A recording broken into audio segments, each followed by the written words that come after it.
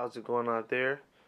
Um, back in with another tutorial. Today I want to show you how to set the correct date and time for your Kindle.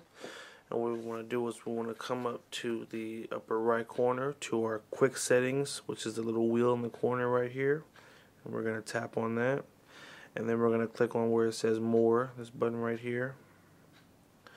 And then we want to come down to where it says date and time. And um, normally it's it when I first got mine it said it was uh, set to automatic which is supposed to use the the network connection you're in and automatically pick the date but for some reason it didn't set it right on mine so to set it manually um, I you want to go to select time zone and I'm in uh, specific Pacific Standard Time so I have to find that and hope I didn't pass it I don't think I did did I pass it? I think I passed it.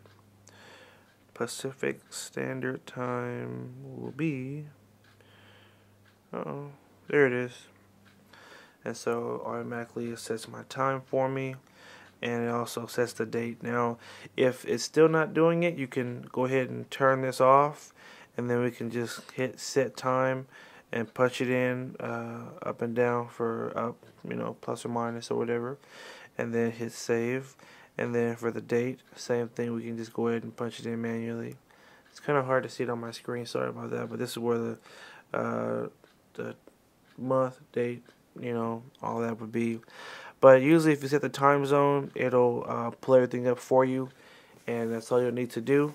And there's no hit and save it automatically recognizes it and then we hit the back arrow we're back to settings and we go back again and now we're on the home screen so that, in a nutshell, is how you set the time on the Kindle Fire.